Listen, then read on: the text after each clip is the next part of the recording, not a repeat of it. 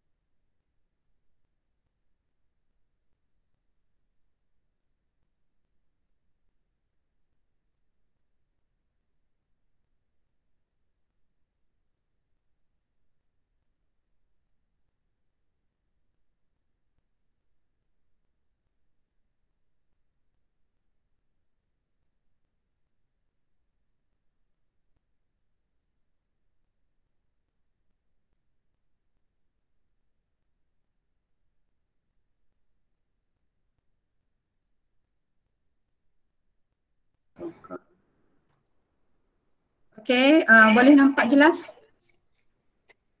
Boleh nampak tak slide cikgu?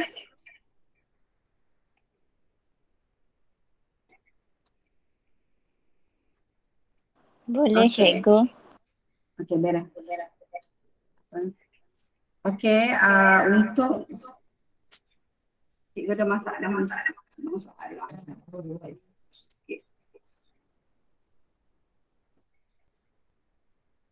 Okay. Okay, untuk bahagian B.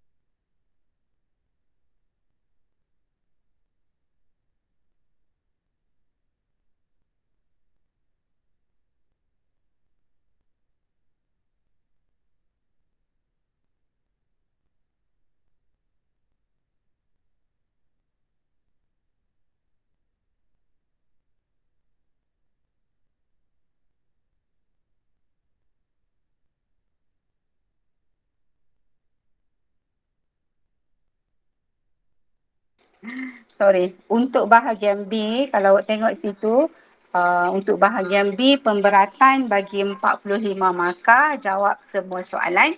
Kalau awak tengok situ, bahagian B ada 5 soalan. Soalan daripada soalan 11 hingga 15. Okey, kalau soalan 11 yang melibatkan soalan tingkatan 2, soalan tingkatan 4 untuk soalan nombor 12, tingkatan 3 hingga 5 tu soalan yang melibatkan soalan tingkatan 4. Okey, kita lihat soalan uh, nombor 11. Okey, untuk uh, soalan nombor 11, lengkapkan jadual bagi persamaan Y sama dengan X kuasa 3 tolak 2X kuasa 2 tolak 11 di mana X lebih besar atau uh, lebih besar atau sama dengan negatif 3 dan lebih kecil atau sama dengan 3. Okey, ini uh, semua pelajar sudah sedia maklum di mana pemberatan soalan ini adalah dua markah. So soalan ini melibatkan pelajar buat direct pengiraan dengan menggunakan kalkulator uh, masukkan pengiraan dengan menggunakan kalkulator, cikgu rasa soalan ni uh, semua pelajar boleh buat. Dan so uh, rasa tak ada masalah kita direct boleh gunakan kalkulator untuk jawapan ni negatif 27 dan gantikan X sama dengan 1.5 pelajar akan dapat jawapannya ialah negatif 12.125. Okey, kalau pelajar nak buat pastikan uh, buat sama ada dalam dua tempat titik perpuluhan ataupun empat angka bererti. Ini cikgu buat uh, untuk tiga tempat titik perpuluhan. Jadi pelajar bundarkan balik jadi negatif 12 perpuluhan satu tiga kepada empat angka bererti. Okey, dapat dua markah dan penilaiannya okey, ini dah cikgu uh, negatif 12.13. Okey. Uh, jadi uh, jawapan untuk soalan ini adalah N1 N1 di mana pemberatannya ialah dua markah. Okey, pelajar boleh tanda.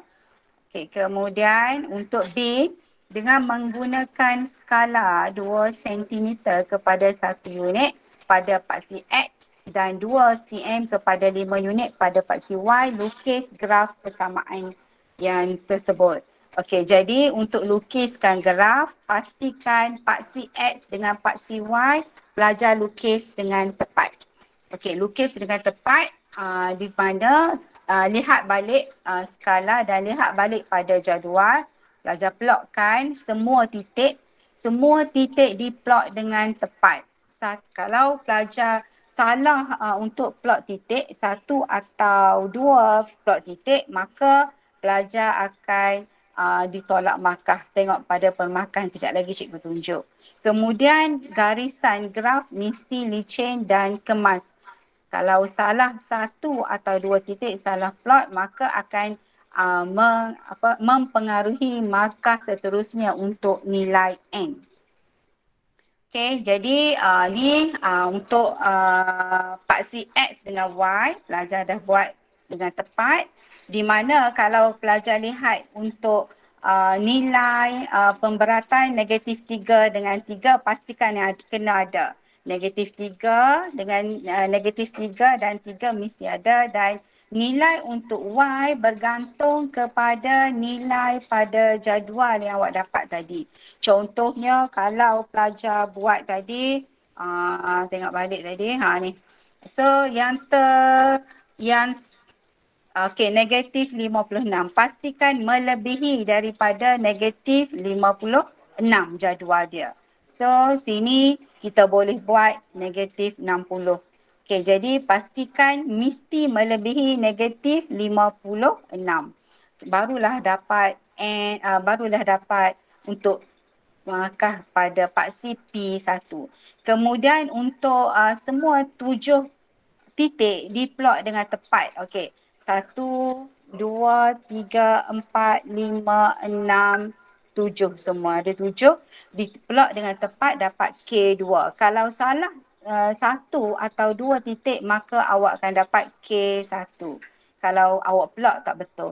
Ada kalau pelajar bila dia plot titik dia akan buat contohnya macam tanda tanda pakar gitu ke ataupun tanda bulat. Okay, jadi mana-mana pun boleh guna tapi dengan syarat masa pelajar nak combinekan antara gabungkan antara titik-titik tu pastikan mesti melalui tepat dengan point yang diberi. Okey, jadi uh, garisan graf licin dan kemas aja akan dapat N1. N1 ni kalaulah pelajar tu tak dapat K2 uh, pada uh, step yang kedua untuk point ni, maka automatik pelajar tak akan dapat N1. Contohnya kalau pelajar tu uh, dia buat untuk paksi dia boleh dapat P1 sebab betul. Paksi X dengan paksi Y betul. Tapi kalau plot titik dia ada satu kesalahan. Satu kesalahan contohnya dia buat untuk uh, contohnya dia buat sini ke. Jadi satu salah. Jadi bila satu salah, automatik dia akan dapat K1. Bila dapat K1, untuk markah N, automatik dapat N kosong. Walaupun graf yang awak lukis tu nampak smooth, nampak licin dan kemas. Disebabkan K1, automatik awak dapat N kosong. So perlu ingat. Dan salah satu lagi, uh, sekiranya pelajar, pelajar uh, contohnya dia tak buat sini, dia dia tanda dia tak buat negatif 60 tapi uh, dia juga tidak tanda untuk ne- uh, untuk dia tanda dia tanda untuk uh, negatif 50 tapi dia tak tulis negatif 60 uh, dia masih lagi mendapat untuk P1 sebab dia ada tanda untuk negatif 56 okay so itu adalah untuk pemarkahan bagi graf pemberatannya ialah 4 markah. So A2 B4 So semua ni awak dah belajar semasa tingkatan dua semua tu. Jadi untuk B dengan menggunakan skala lagi, okey dia cari graf daripada graf cari nilai. So untuk dapatkan nilai Y, dia nak cari nilai Y apabila X sama dengan uh, 2.7. Okey, daripada graf maksudnya pelajar kena dapatkan nilai daripada graf. Pelajar tak boleh kira. So ambil dekat graf tu pada X sama dengan uh, 2.7 tengok molek awak pastikan uh, bila petak-petak tu kena tengok molek petak tu. So bila kira balik awak tengok pada graf negatif 2.7 eh, uh, 2.7 akan dapat negatif 5.5. Sorry. Uh, ni cikgu tengok okey negatif 2. Okay. So sorry, uh, ni untuk ne y, nilai y apabila uh, y apabila negatif 35, pelajar akan dapat negatif 2.3. Akan dapat N2. So di sini uh, dapat uh, tiga markah lah. So seterusnya ni daripada graf. Okay, soalan nombor 12. Uh, soalan nombor 12, uh, jadual ini menunjukkan maklumat berkaitan dengan perancangan konvoi yang dilakukan oleh sekumpulan geng motor. So, so di sini, uh, ini adalah topik uh, tingkatan 4 yang awak dah belajar.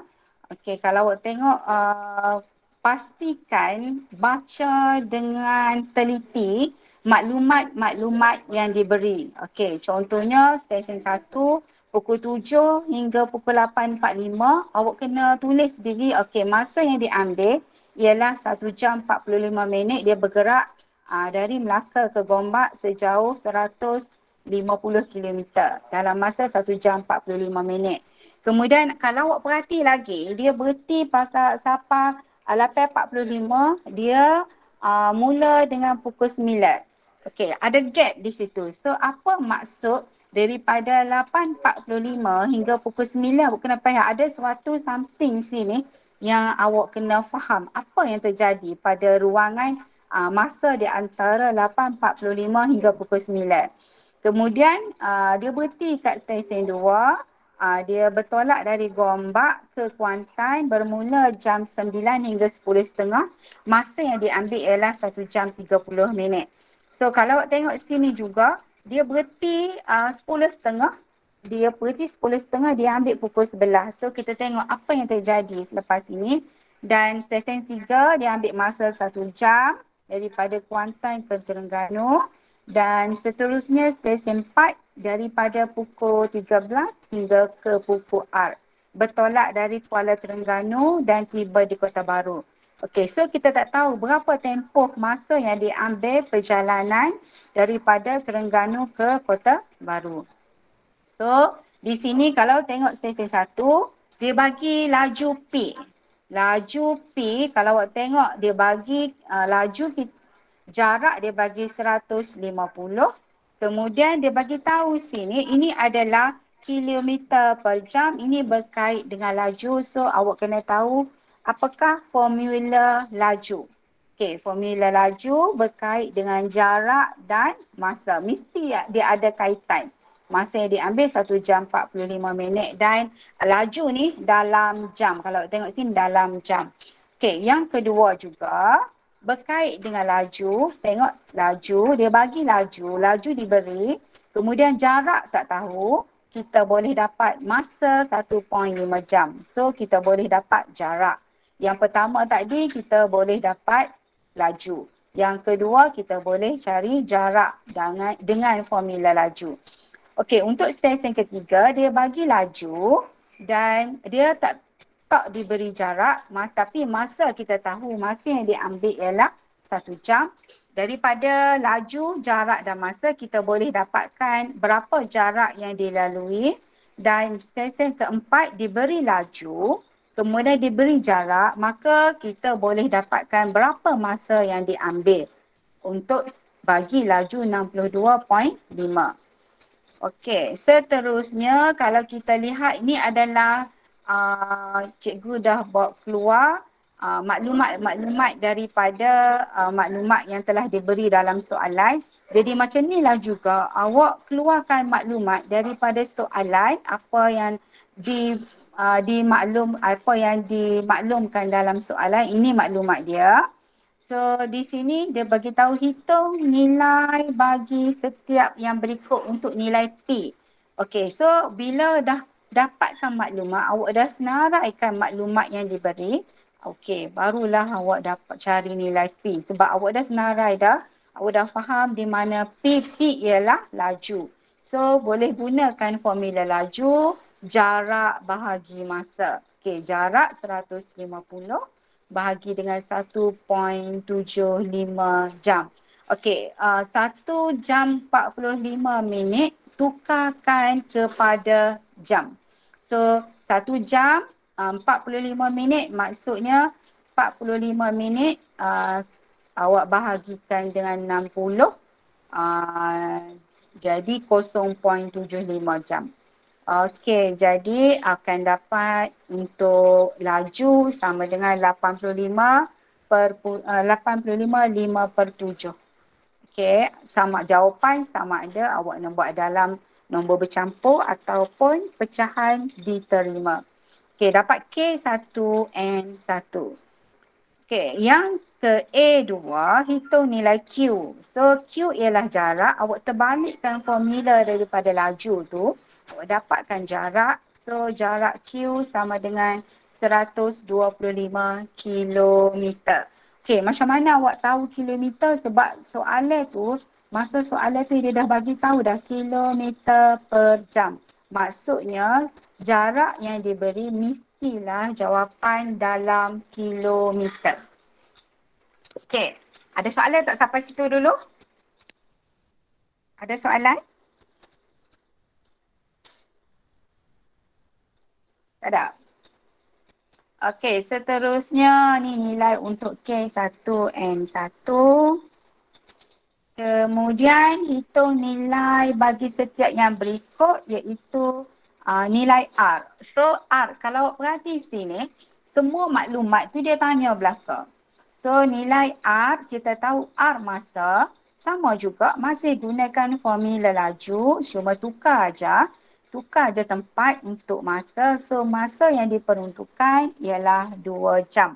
Maksudnya pukul 13, pukul 14, pukul 15 barulah dia sampai. Jadi pukul 15 dalam unit sebab soalan ni dia dia dia, dia bagi masa dalam uh, sistem 24 jam. Jadi jawapan awak mesti dalam sistem 24 jam. Okay. So ni dapat K1 dan N1. Semua ni setiap satu soalan ni dua markah. So dah enam markah dah situ. Dan ini adalah dikategorikan sebagai aras mudah lah. Sebabnya jawapan uh, maklumat diberi secara tersurat. Dia dalam soalan pun dah ada. Okay so Okay, ha, kuantan tu kita walaupun dia tak tanya tapi kita kena tahu jarak tu adalah 100 Okey, 100 km. So, soalan kedua, seterusnya lengkapkan graf jarak masa uh, bagi menggambarkan penjalan, perjalanan konvoi tersebut dari Melaka ke Kota Baru. Okey, kita start dengan, dia dah bagi dah untuk start dengan jarak 500 km. Okey, jarak dia sejarak sejauh 150. Okey, 150 jadi 500 tolak 150 dapat 350. Kemudian jarak uh, dari Gombak ke Kuantan, dia mula start dengan pukul 9. So 8.45 hingga pukul 9 ini adalah masa rehat dia orang. So masa rehat. So uh, ini adalah masa rehat selama 15 minit. Ha, ni cikgu royak dia tak maklumkan maklumat antara pukul 8 hingga 8 pukul 9. So sini adalah gap waktu rehat. Dia berehat di Gombak selama 15 minit. Bila rehat, masa tetap berjalan. Jarak dia stay sama. Okey, kemudian sambung Gombak ke Kuantan sejauh 125. Jadi daripada 350 awak tolakkan 125. Okey, dapat sini. Okey, kemudian sambung lagi. Okey, ha, sini dia rehat lagi daripada pukul 10 sampai pukul 11. Maksudnya dia rehat selama setengah jam. So sini peranan awak dah graf ni masa dalam jam. Maksudnya sini kalau satu jam ni awak kena arrange diri lah. Ada satu, ada berapa petak ni? Satu, uh, dua, tiga, empat petak. So empat petak selama satu jam, 60 minit. 60 minit ada empat petak, maksudnya setiap satu petak tu adalah 15 minit. Dua petak setengah jam. Maksudnya sini setengah jam lah, dua petak. So seterusnya sambung lagi graf kita daripada Kuantan ke Terengganu, tolak lagi daripada ni tolak 100 kilometer jarak uh, masa dia satu jam. Okey, kemudian pukul 12 hingga pukul uh, 12 hingga pukul 1. Okey, 12 hingga pukul 1 ni masa satu jam dia rehat. Maksudnya pukul 5 hingga ni ni uh, pukul 12 hingga pukul 1 ni adalah uh, satu jam waktu dia rehat. Ini adalah uh, masa ni adalah tempoh masa. Tempoh masa pergerakan perjalanan di, untuk paksi X. Kemudian dia rehat satu jam. Kemudian dia teruskan lagi perjalanan daripada Kota Baru, eh, Terengganu ke Kota Baru. So selama 125 kilometer. So semua jarak ni cukuplah sejauh 500 kilometer dengan tempoh masa yang diambil perjalanan ialah selama 8 jam. Ini adalah graf, eh? graf uh, jarak masa. Okey, siap untuk graf ni. So, makanya ialah K1 start daripada di sini. Gombak ke Kuantan. Kemudian K1 lagi Kuantan ke Terengganu. Dan K1 lagi untuk Terengganu ke Kota Baru. Semuanya dan lengkap semua sekali. Lengkap semua sekali tu maksudnya awak dah betul K1, K1, K1, barulah awak akan dapat N1 dengan lengkap dan ada masa rehat. Sini kebanyakan pelajar dia skip sini lah. Ni. Masa rehat. So kalau tak dapat penuh K1, K1, K1, awak takkan dapat N1. N1 ni syarat dia mesti K1 tu penuh baru dapat N1. So semua ni adalah empat markah. Ada soalan tak nak tanya sini? Ada soalan? Tak ada. Ah, tak ada. Okey, beres. Okey, kita tepat markah. Pastikan awak dah tanda sekarang ni awak dah dapat berapa markah dah soalan soalan 12 tadi tu. So untuk nombor 13, uh, pada rajah di ruangan jawapan, lukis satu garis lurus bagi 2Y sama dengan 14 tolak X. So sini dia dah bagi dah graf ni pada awak. Awak kena lukis di atas graf yang disediakan untuk 2Y sama dengan 14 tolak X. So apa yang perlu awak buat ialah awak kena buat okay, uh, gantian nilai. So cara yang paling mudah gantikan y kosong awak akan dapat x sama dengan 14 ke dalam persamaan ni. Gantikan dalam persamaan ni dah so selagi awak gantikan balik uh, bila gantikan balik l y kosong x 14 so dapat satu titik. Kemudian dapat lagi satu titik gantikan x kosong awak akan dapat y 7 okey gantikan awak dapat dua titik. Kemudian sambungkan bila sambungkan, okey dah dah lukis satu garis lurus. Siaplah garis lurus. So awak dapat K1. Untuk ganti nilai ni, tak kisah awak nak ganti dengan berapa pun. Cuma uh, pemilihan nilai tu, kita pilih nilai yang mudah. Dan satu lagi, awak kena tengok nilai pada uh, ruangan graf yang disediakan. Kalau graf tu dah ada kosong, awak letak je nilai kosong. Sebarang nilai sebenarnya semua boleh. Okey, sebarang nilai boleh di akhir sekali plotting dia, graf dia akan jadi sama. Cuma bila cikgu cikgu cadangkan untuk gantikan Y kosong supaya mudah untuk jalan pengiraan.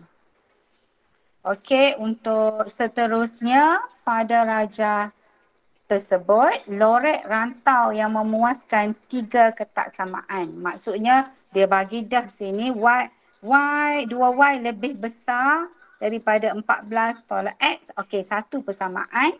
Okey, satu persamaan ni, ini tanda lebih besar. Bila lebih besar, dia mesti ke atas. Okey, yang kedua, Y lebih kecil daripada tujuh, awak cari di mana Y lebih kecil daripada tujuh, garisan Y lebih kecil daripada tujuh dan nampak dia bergerak ke bawah dan garisannya adalah garis putus-putus sebab tak ada tanda sama dengan. Okey, yang ketiga, okey, X lebih kecil atau sama dengan 14. Okey, ni bila lebih kecil maksudnya pergerakan dia ke sebelah kiri sebelah kiri okey ke kiri. Jadi ruangannya ialah di tengah-tengah. Okey dah kita dah lorek so dapat K2. Yang seterusnya dia nak tentukan sama ada titik 12.6 berada di rantau berlorek atau tidak. So lo ni awak tengok kalau sini 12 ni di mana? Okey so sini tadi 14. Sini 14 tadi mestilah dalam kawasan sini contohnya sini dua belah. So bawah yang ni. So kat mana awak nak bila awak plotting dia duduk sini. So plotting duduk sini. So dia masih lagi dalam rantau yang berlorek. So ya jawapan dia ya sebab dia kata di rantau dilorekkan atau tidak. Maksudnya ya lah. Okey dapat P1.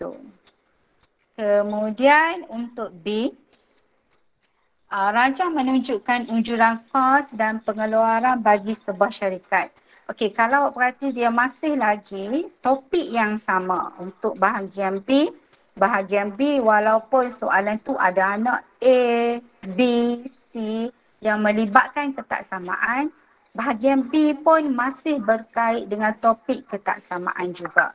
So sini awak kena fahamkan uh, apa dia maksud ni uh, 3Y maksudnya lebih besar kan ni sewa premis ni maksudnya lebih kecil untuk Y sama dengan 70 dan satu lagi untuk X 150 lebih besar. So lo ni dia nak hitung keluaran minimum yang perlu dihasilkan untuk menampung sewaan kilang. Tengok markah situ dua markah.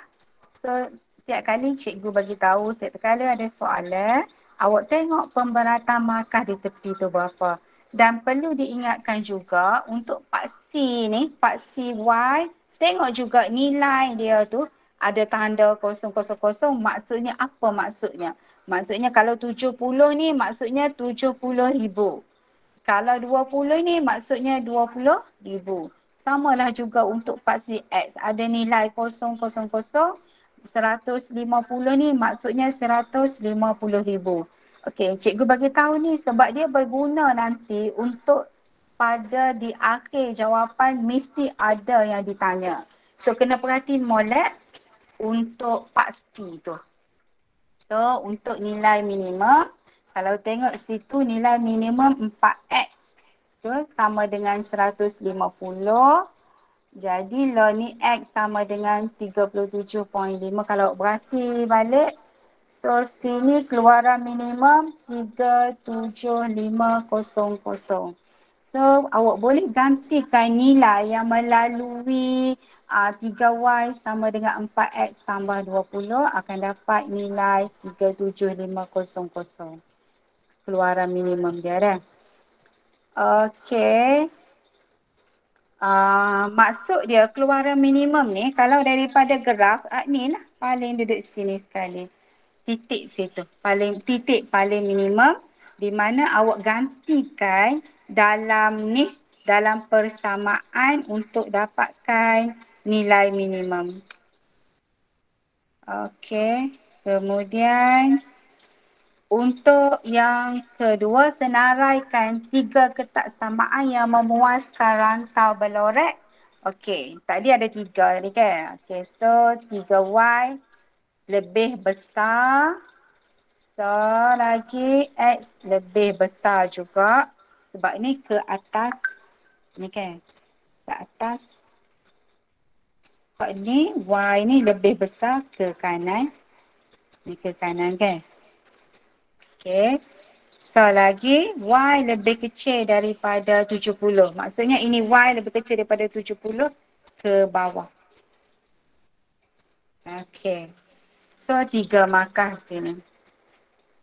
Seterusnya P1, P1, P1. Okay. Kemudian untuk nombor 14. Untuk nombor 14 kalau awak tengok situ.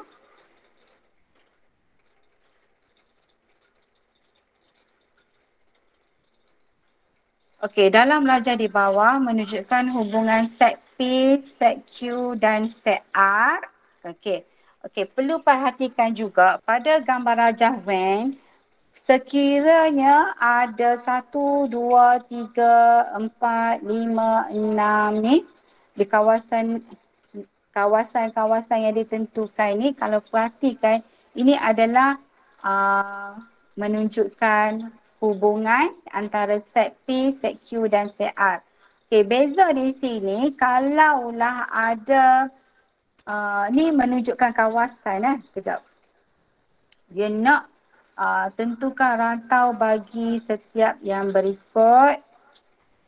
Kalau tengok situ, P penyatuan Q ada tanda calik sini. Ini bukan eh.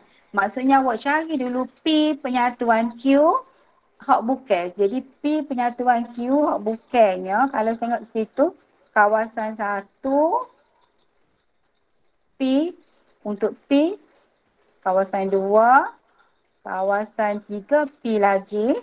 Okey Q kawasan empat kawasan enam. Okey jadi hak tu kawasan uh, P penyatuan Q. Yang bukan ialah kawasan lima. Hak ni jangan hak tidak terlibat. Yang tidak terlibat untuk P penyatuan Q. Dah. Okay. Ada setengah pelajar dia guna keedah lain pun diterima juga. Ada banyak kawasan tanda kan. Okay. okay. So U ni maksudnya penyatuan, gabungan, kesatuan. Maksudnya awak ambil P gabung dengan Q. Yang bukannya ialah kawasan 5. So dapat P satu. Okey, yang seterusnya tentukan rantau bagi setiap yang berikut. Maksudnya P, eh, sorry, Q penyatuan R, eh, sorry, Q tindanan R penyatuan P. Okey, awak buat dulu untuk satu step dulu. Q tindanan R. Okey, Q tindanan R, kalau awak tengok situ, Q dengan R. Dah.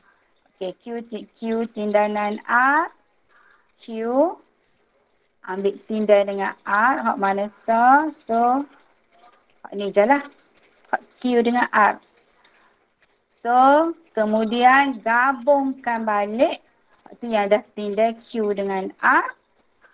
Okey, kemudian gabungkan dengan P. Okey, gabung dengan P, ambil semua P. So, inilah jawapan dia. Jawapan dia satu, dua, tiga dan empat. So kawasan dia situ dapat P1. Okey. Seterusnya tuliskan satu operasi set yang menerangkan rantau berlorek. Okey, untuk set P, Q dan set R. So, pertama sekali awak tengok kawasan berlorek. So kawasan Balorek, awak tengok sini tadi tu Q tindanan. Kalau awak tengok sini, uh, so Q tindanan bukan R. Okay, kawasan Balorek tu. Okay, kemudian satu lagi uh, P tindanan R. So P tindak dengan R, ada kawasan dua dengan tiga.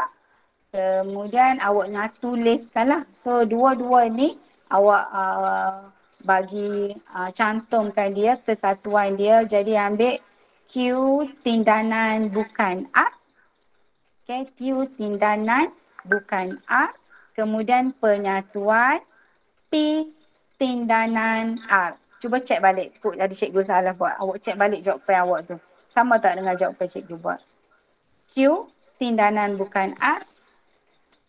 Mana dah? So ini bukan R, ni R. Q tindanan bukan R. Dua dengan tiga dapat. Okey, kemudian penyatuan P tindanan R. P tindanan R. Dah dah. So akan dapat P2. Okey, kemudian C diberi set semester uh, X penyatuan Y penyatuan Z di mana X subset kepada Z. Okey, apa maksud X subset kepada Y? Sorry, X subset kepada Y. Maksud dia, unsur dalam, uh, maksudnya X ni duduk dalam Y. Maksudnya unsur X ada dalam Y. Ini maksud X subset Y. Unsur X ada dalam Y. Maksudnya Y besar lagi lah.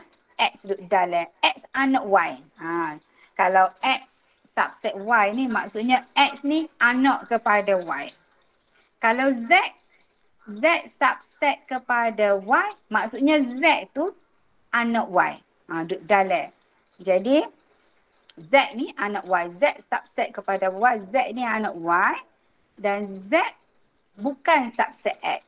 Maksudnya Z bukan subset X ni dia tak duduk sekali. X dengan Z ni tak boleh catung kali.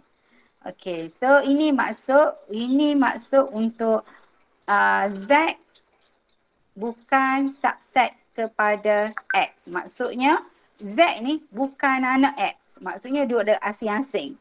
Okay, lukis set yang menunjukkan hubungan tersebut dan seterusnya lorekkan. Okay, lorekkan Y penyatuan Z tindanan bukan X. So bila kita buat ni kita ambil balik apa penyataan yang kita dah faham tadi. Y dengan X. Ah, okay, X anak kepada Y. Z anak kepada Y juga. Dan X ni di mana X ni tidak bergabung dengan Z. So bila Y penyatuan Z, bila Y penyatuan Z, Y ni, Y ni semua sekali Y ni semua sekali gabung dengan Z tindanan bukan X. Maksudnya tindanan bukan X ni maksudnya kalau awak tengok sini okey ni tindanan bukan X maksudnya tidak termasuk X. So lain semua lorek kecuali X sebab dia kata tindak dengan bukan X. Okey, jadi dapat P2. Okey, ada nak tanya tak sampai sini? Ada soalan tak nak tanya? Tak ada.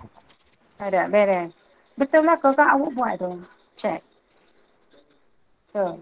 Okey. Oh, Okey, seterusnya soalan nombor 15. soalan yang melibatkan data jumlah skor yang diperoleh bagi 30 buah pasukan yang menyertai pertandingan futsal.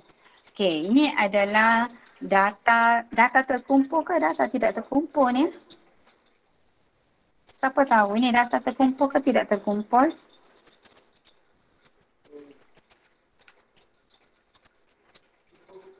Terkumpul. Okey, so uh, ni data terkumpul. Dia nak hitung variance uh, sisihan piawai bilangan skor yang diperoleh. So untuk soalan ni, soalan ni mudah je. Soalan ni melibatkan uh, formula. Kalau dalam soalan periksa pun, kalau awak tengok formula, formula awak boleh rujuk rumus yang diberi dalam soalan. Bila ni awak rujuk pada formula yang ada pada awak untuk cari variance. So gunakanlah formula yang ada. Mana-mana je awak boleh guna. Awak rasa yang mana awak rasa mudah. So ingat balik uh, macam mana untuk dapatkan mean Sebab semua formula uh, awak kena tahu macam mana untuk dapatkan nilai min. Okay, kemudian untuk cari nilai sisi hampiar Y, awak guna, uh, daripada formula yang awak pilih tu, so mana-mana je awak boleh guna formula. Uh, okay, kemudian tengok balik penyelesaian dia, cari min. So min uh, kekerapan darab dengan skor. Okay, bahagi dengan jumlah kekerapan. Ni cikgu rasa awak dah boleh buat dah untuk ni. Soalan ni macam soalan ni familiar lah. InsyaAllah boleh keluar. Soalan ni sangat familiar. Okay, so min dapat 3.6. Okay, ni dapat 3.6. Kemudian untuk dapatkan uh, sisi hampir awal. Okay, dapatkan sisi hampir awal. Tengok situ uh, sisi hampir Y, awak darabkan setiap satu kekerapan dengan X ni. Uh, darabkan, so awak akan dapat sisi hampir Y uh, ialah 2.44. Uh, variance 2.44 dan di akhir sekali untuk dapatkan satu lagi uh, hak takdir lagi kira masukkan balik ke dalam formula formula ni uh, so Kira balik dapatlah nilai sisi hampir awal 2.44. So masih lagi menggunakan formula yang awak dapat tadi tu. So yang awak dapat tadi tu awak gunakan masukkan balik ke dalam formula. Semua ni awak just kira dengan guna formula. So ini adalah uh, satu salah satu soalan yang awak tak boleh skip yang amat penting bagi diri awak Sebabnya melibatkan formula, ambil data, masukkan dalam formula. Cuma lah ni, awak kena mahirkan diri awak bagaimana untuk menggunakan formula dan menggunakan data-data yang diberi supaya apa jawapan, uh, supaya apa yang awak dapat jawapan itu, awak gunakan balik dengan menggunakan formula. Okay, so dapatlah sisi yang awal punca 2.44. So, so sama dengan 1.56. Okey, cari balik. So dapat N1. Okey, kemudian untuk B uh, ni mungkin uh, susah sikit sebab dia melibatkan gabungan. So jika kesemua pemain kedua-dua digabungkan, maksudnya pemain X dengan pemain Y tu digabungkan. Jadi awak tengok balik, uh, dia suruh hitung semula hitung semula sisi hampir Y bagi gabungan kumpulan pemain tersebut. So lah ni bila awak tahu dah, uh, jadi jumlah umur, umur dia, uh, kekerapan dengan awak daratkan balik dengan uh, min yang awak dapat tu, min yang awak andaikan sebagai uh, titik tengah. Uh, jadi sini awak akan dapat jumlah untuk X 396, awak darabkan balik Kemudian untuk Y pun sama, 26 darab 15. Okey, dapat 390. Okey, kemudian uh, masih lagi dalam pengiraan, kita melibatkan formula tadi tu. Okey, kita dah dapat nilai variance tadi tu 3.5. Okey, 3.5. Awak kira balik, awak akan dapat jumlah uh, X kuasa 2 tadi tu.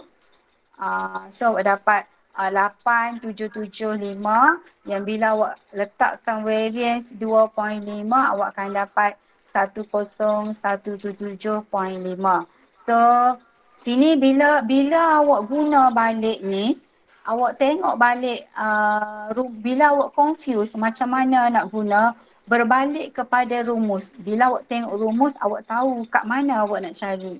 So lah ni bila dah guna semua, so lah ni kena nak gabungkan. Maksudnya bila gabung, tadi jumlah pemain tadi kita gabungkan 18 dengan 15, kita gabungkan jadi 33. So untuk min pula, hak tadi kita cari daripada min tu kita dapat jumlah X kuasa 2 bagi pasukan X tadi. Dan satu lagi kita dapat untuk pasukan Y jumlah X kuasa 2 dapat nilai ni, kita gabungkan sekali. Okey, kalau min tadi, uh, kita ambil hak tadi kita kira tadi tu dah. Hak kira mula-mula tak dia hak darab 396 tambah dengan 390 bahagikan dengan jumlah kekerapan 33. Okey, dapat nilai min 28.32. Kemudian untuk X pula kita gabungkan dua tu jumlahnya kita akan dapat 18952.5 sebab kita dah gabung dah, kita campur dua tu dan untuk variance pula kita dah gabungkan uh, kita masukkan ke dalam formula. Okay, so masukkan ke dalam formula uh, daripada ni X kuasa, jumlah X kuasa 2 bahagi dengan jumlah kekerapan tolak dengan min. Masih lagi guna formula yang sama cuma kita gabungkan daripada uh, penyelesaian ni kita akan dapatlah uh, sisihan piawai sama dengan 2.632.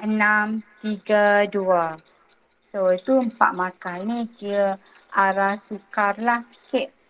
Arah kesukaran yang arah tinggi. Sebab awak kena fikir macam mana untuk dapatkan uh, sisihan piawai bagi gabungan kumpulan pemain. So yang pertama kena cari min. Yang kedua kena cari gabung uh, uh, jumlah pemain.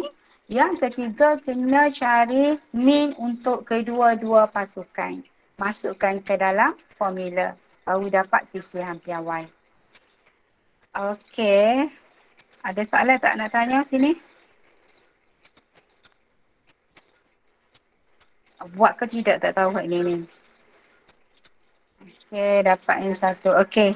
Seterusnya bagi soalan nombor 16.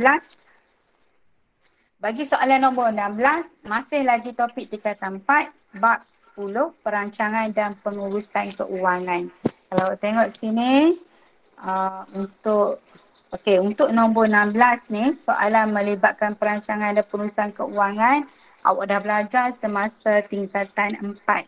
Okey kena baca soalan ni walaupun dia panjang. Jangan malah nak baca dan waktu baik apa maklumat yang diberi dalam soalan ni. So kena tandakan, kena keluarkan maklumat satu per satu. Okay. So soalan ni awak baca molek.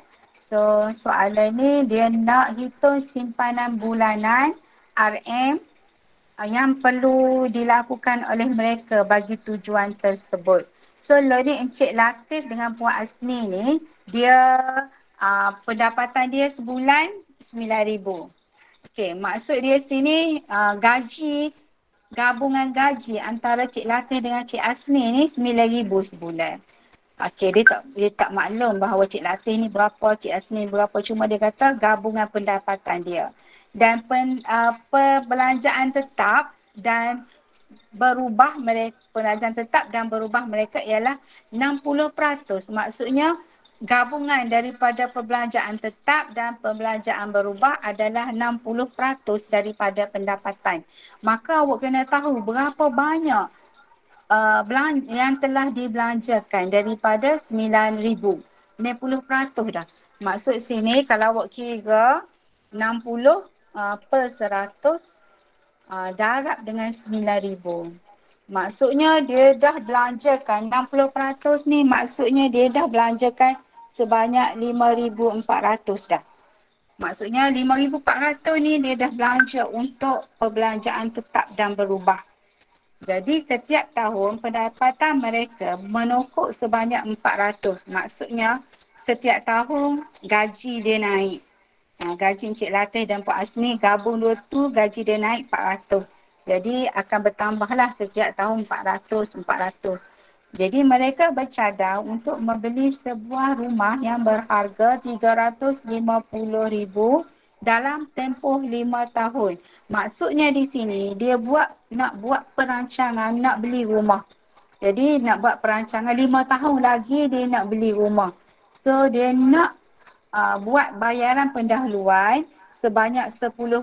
So awak kena tahu 10% daripada 350,000 berapa banyak. Maksudnya bila awak kira sini uh, 10% daripada 350,000 maksudnya awak akan dapat 35,000. So baki daripada kos rumah akan dibiayai melalui pinjaman bank dan kadar faedah 3.5% tahun untuk tempoh 25 tahun. Diandaikan sini uh, untuk uh, kadar kadar faedah ni adalah tetap 3.5% setahun dalam tempoh 25 tahun.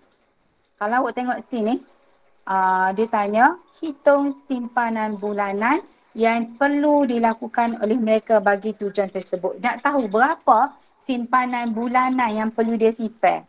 So pertama sekali kena tahu nak simpan berapa kena tahu berapa banyak yang dia perlukan untuk bayar pendahuluan. Sebab dia kata yang bagi tujuan tersebut. Tujuan tersebut ni maksudnya tujuan dia yang nak bayar pendahuluan sebanyak 10%. So berapa banyak yang diperlukan So dia kena yang kedua mestilah dalam tempoh lima tahun dia nak simpan. So berapa banyak yang diperlukan? So maksudnya 10 per 100 darab dengan 35 350 ribu akan dapat 35 ribu. So daripada uh, wang pendahuluan 35 ribu dia kena bahagikan dengan 5 tahun dan tah setiap tahun dibahagikan dengan 12 bulan. Barulah uh, tahu berapa sebulan yang patut dia simpan. Maksudnya sini 35,000 bahagikan dengan 5 tahun, bahagikan juga dengan 12 bulan. Jadi sepatutnya dia kena simpan sebanyak RM583.33 setiap bulan selama lima tahun. Barulah cukup duit dia sebanyak tiga puluh lima ribu. Okey, baru cukup untuk bayar wang pendahuluan untuk rumah sebanyak sepuluh peratus. Okey, itu yang pertama Pak Markah tu dapat K1, K1, K1 dan N1. Pak Maka. Okey, yang seterusnya dia kata, dia tanya lagi, adakah mereka membuat perancangan yang baik bagi tujuan pembelian rumah tersebut? Dia suruh uh, berikan justifikasi, maksudnya dia nak sebab. Jadi bila nak sebab, kita dia kena kita kena tunjuk kenapa kita buat sebab tersebut. So lah ni kita keluarkan maklumat kita nak tahu adakah dia buat perancangan baik atau tidak. So pertama sekali kita tahu bayaran pendahuluan RM35,000. Baki pinjaman dia tu, baki pinjaman yang dia dapat tu RM35,000, RM350,000 kita tolak dengan RM35,000 kita akan dapat uh, wang untuk dipinjam dengan bank sebanyak RM315,000. Hak ni lah yang akan dikenakan faedah sebanyak 3.5% yang dikenakan selama 25 tahun. Okey, hak ni ni, hak ni ni, awak guna formula sahaja, formula untuk jadual bayar balik. Kalau awak tengok formula, ada disertakan dalam rumus uh, dalam bahagian nombor dan operasi uh, jumlah bayaran balik. Awak guna formula tu uh, untuk bayaran balik A sama dengan P tambah bayaran balik katakanlah A sama dengan P tambah PRT. Okey, PRT. P ni untuk dia punya pelaburan dia RM315,000. Okey untuk RM315,000.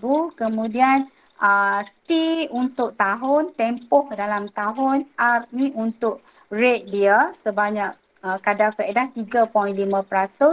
Okey, didarab semua maka akan dapat jumlah bayaran balik RM590,625. Awak bayangkan Awak bayangkan awak pinjam dengan bank, awak pinjam dengan bank RM315,000, awak kena bayar balik keseluruhan pinjaman selama 20 tahun, 25 tahun dengan kadar faedah 3.5 awak kena bayar 590,625. Jadi dekat dengan kali ganda kan. Gitulah dengan bank sebab tu bank boleh hutang tinggi dalam jangka masa yang panjang. So ni untuk bayaran bulanan so bahagikan dengan 25 tahun dan bahagikan juga dengan 12 bulan. Kalau awak nak buat sesar pun boleh. Maksudnya 590, 625 awak bahagi dengan 25 dulu. 25 tahun kemudian awak bahagi pula dengan 12. Ni cikgu buat jalan shortcut 25 darab 12 lalu. 25 tahun darab dengan 12 bulan. So uh, bayaran bulanan awak dia sebulan dia kena bayar untuk bayaran rumah bagi uh, pinjaman dia tu yang dia kena bayar setiap bulan ialah RM1,168.75. Awak bayangkan awak bayangkan tadi, tadi kita dah cerita tadi dia uh, pendapatan dia RM9,000. Pendapatan dia RM9,000. Okey, tadi dia dah guna untuk pendapatan dia 90% uh, RM5,400. So duit dia lah ni, hak tinggal lah ni RM3,900. So daripada RM3,900 ni dia kena bayar dia kena bayar rumah sebulan. Kena bayar rumah sebulan sebanyak 1968.75. Okey, katakanlah uh, lepas daripada tu uh, dia naik gaji, naik gaji 400. So lah ni kalau tengok lah ni uh, mungkinlah naik gaji 400 mungkin uh, lepas daripada tu mungkin gaji dia 9400 ataupun naik lagi naik lagi. So lah ni kita tengok pada masa ini daripada 3600 uh, 5 tahun akan datang nanti uh, dia kena bayar sebanyak 1968. So lah ni adakah uh, mereka membuat perancangan yang baik ataupun tidak? Okay, boleh cikgu nak tanya. Perancangan baik ke tidak ni? Dengan dia lebihan duit dia sebenar uh, tolak perbelanjaan tetap dengan tolak perbelanjaan berubah 60% dah. Jadi loan ni uh, yang dia ada duit dalam tangan 40% je daripada gaji dia. Maksudnya 3600 je. Uh, Syahir, Syahir rasa hmm, perancangan yang baik atau tidak? Mana Syahir? Syahir?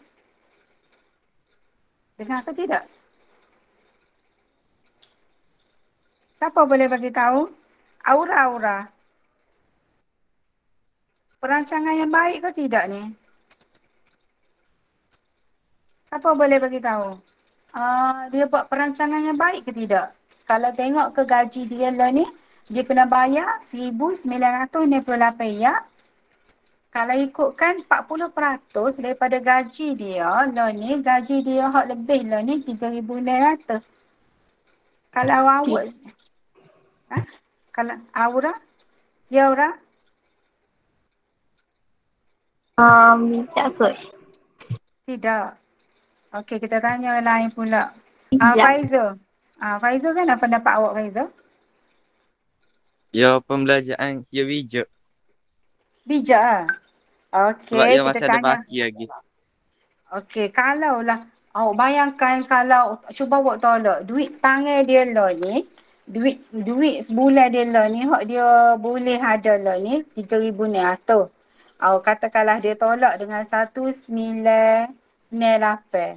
Ah, jadi duit hak ada tangan dia lah ni satu nil tiga dua. Tu lah duit nak beli gapo gapo lah. Ha. Jadi rasa macam bijak ke tak? So kita tanya seorang lagi.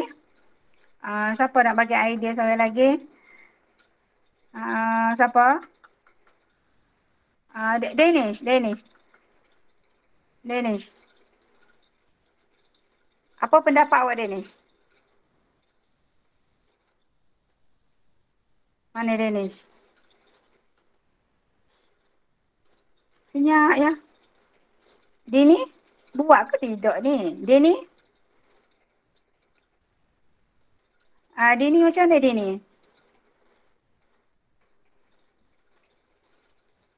Hmm, tak baik. Bukan perancangan yang baik. Ah, kenapa awak cakap bukan perancangan yang baik? Sebab tak banyak sangat duit yang ada untuk ia guna macam Ah, untuk bagi keperluan. ya. Okey, kita tengok jawapan dia. Okey, tak apa Dani. Uh, Dani, Dani mesej cikgu buat apa tau. Ah, dia kata tak. Okey, cikgu check balik. Ah. Okey, so sini kalau awak tengok sini dia buat perancangan yang baik ataupun tidak.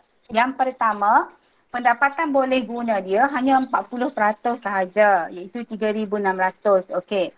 So itu yang pertama, info yang pertama yang awak boleh guna untuk jawapan awak. Info yang kedua, uh, pendapatan tahunan dia bertambah RM400. So so bu, kalau dia bayar sebanyak 1968, apa jadi? Mereka tidak mempunyai perancangan yang baik kerana bayaran angsuran bulanan mewakili 54.69% pendapatan boleh guna. Jadi lah ni pendapatan boleh guna dia ialah 3,600.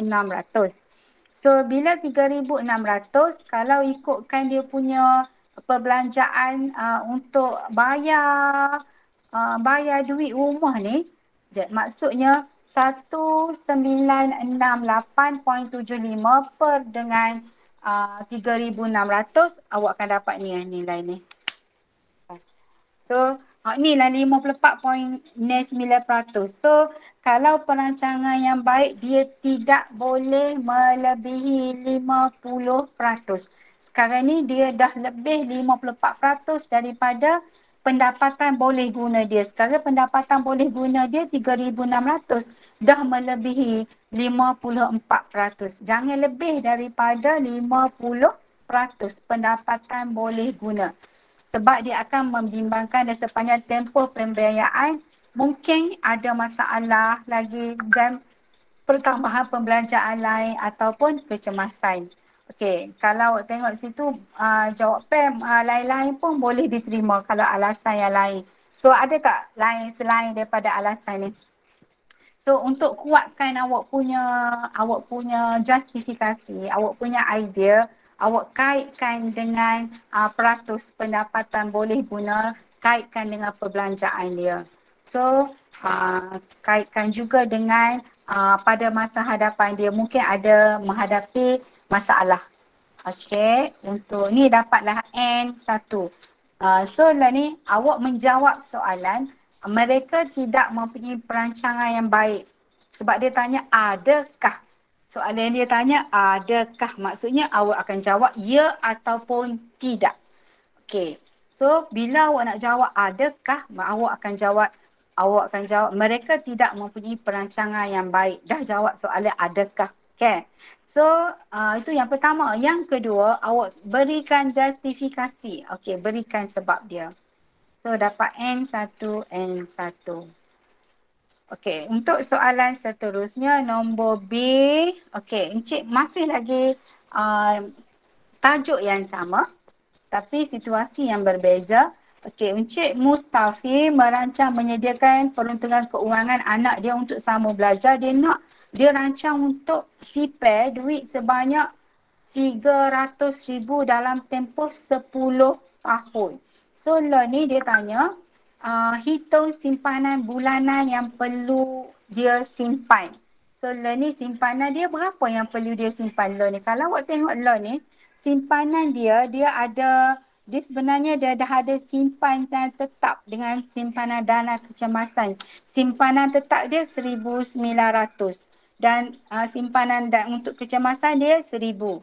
Jadi lebihan bulanan dia 200. Dia maksudnya dia uh, perancangan keuangan yang bijak lah sebab dia ada lebihan dan dia juga ada uh, simpanan tetap. So ni untuk bulanan, jadi kita tengok balik 300 ribu, kena bahagikan dengan 10 tahun, bahagikan juga dengan 12 bulan. So, sebulan sepatutnya dia sipar 2,500. So, lah ni kalau tengok balik 2,500 ni tak cukup untuk dia sipar. Kalau tengok lebihan dia, sebulan 200 je. Tapi awak tengok balik sini, tengok balik sini, dia uh, sipar 2,500. So tengok balik simpanan uh, tertambahan dia. Sebenarnya dia dah sipar sebanyak 1,900. Ini simpanan dia. Jadi tolak balik. Jadi apa yang perlu dia buat ialah tambahan sebanyak 600. Tambahan 600 ni kalau ikutkan dia punya lebihan perbelanjaan dia masih ni pun masih tak cukup lagi. Sebab lebihan dia tadi 200 je. So bagaimana untuk dapatkan simpanan tambahan sebanyak 600 ni, kita bantu Encik Mustafi untuk dapatkan 600 supaya dia dapat simpan setiap bulan 2,500. So learning cadangan yang pertama, kurangkan penggunaan uh, bil elektrik. Okay. Sebab tengok bil elektrik dia 1,500. So kena pakat-pakat dengan ahli keluarga untuk kurangkan perbelanjaan supaya dapat dapat simpanan tambahan. Okey, cadangan yang kedua. Siapa boleh bagi cadangan yang kedua? Apa dia? Apa dia cadangan lagi supaya neratus lagi nak cari kat mana lagi ni? Kat mana lagi nak cari simpanan tambahan dia? Riza, boleh Riza?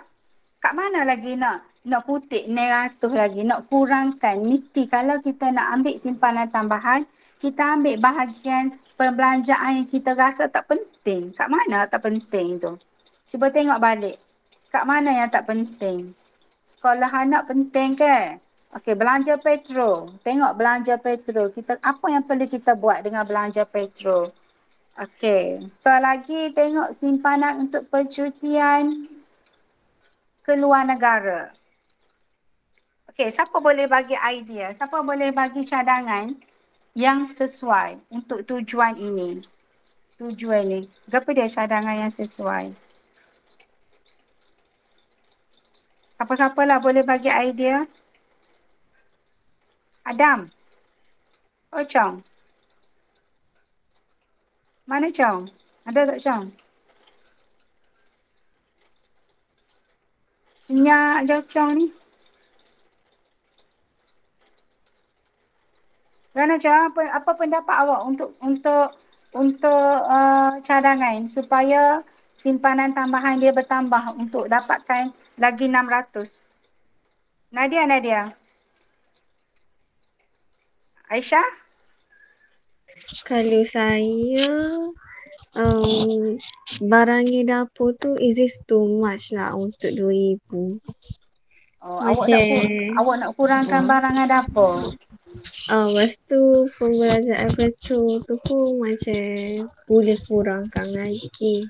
Lagi? Agak sembilan ratus macam. Eh, kalau duduk jauh? Dua oh. kereta tu. Dua kereta. Okey, kita duduk. Ha, okey lagi. Nombor ni, apa pendapat awak dengan simpanan untuk percutian ke luar negara? Kalau saya auto auto tak wajib pun benar. Kalau okay. jadi ah, macam boleh. kita boleh membezaki kehendak dengan keperluan lah. Hmm, okay. Terima kasih Syah. Okay, so, okay, so yang kedua, ubah perancangan bercuti dalam negara untuk kurangkan kos cuti lah. Jadi simpanan lo ni dia cadar keluar negara. So, ubah perancangan bercuti dalam negara untuk kurangkan kos. Ya, untuk kurangkan kos percutian. Okey, kalau cadangan ketiga, mungkin boleh berkongsi kereta dengan rakan untuk penjimat, penjimatan kos petrol. Mungkin boleh uh, jimat kos petrol berkongsi kereta. Okey, itu adalah cadangan-cadangan P1, P1 dan P1 sebab tiga markah ni Maksudnya mesti dia nak tiga idea. Berikan tiga cadangan. Maksudnya tiga lah. Satu cadangan, satu markah. So tiga markah. So untuk lain-lain alasan yang munasabah pun boleh diterima macam Aisyah ayat tadi barangan dapur is too much untuk 2000 mungkin boleh kurangkan sedikit kan makan makan luar ke ataupun apa-apalah. So alasan alasan yang munasabah boleh diterima sekiranya pemeriksa rasa itu adalah uh, itu adalah uh, logik. Okey, seterusnya ah ni terakhir untuk topik pelan dan dongakan. Topik ni adalah topik tingkatan tiga.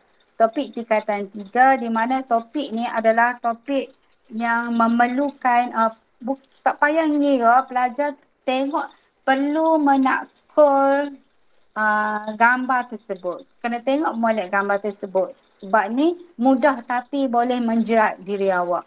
So soalan dia hitung jarak dalam cm bagi JE. So lah ni kalau awak tengok lah ni JE kalau awak baca soalan ni dia raya MPN ialah uh, segitiga bersudut tegak dan P berada 2.2 cm tegak dari garis MN. So garis MN maksudnya K K mana JE JE Okey, JE.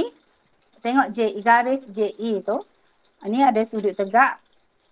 Okey, untuk awak ambil balik untuk dapatkan sebelum JE, awak ambil balik untuk jarak dia MN sama dengan uh, KJ di mana awak boleh gunakan teorem Pythagoras, awak dapat J awak dapat JK sama dengan 5.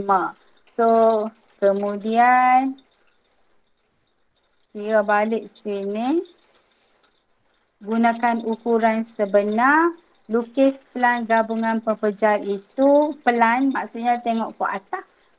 Awak tengok pada uh, permukaan yang besar awak lukis dulu permukaan besar waktu big dulu okey so dan so lagi ialah okey waktu big so lagi So lukiskan balik dalam bentuk ni. So untuk lukiskan balik uh, mesti mengikut ukuran sebenar. Hak ni ni, kau lukis hak ni ni, ini adalah lakaran awak buat.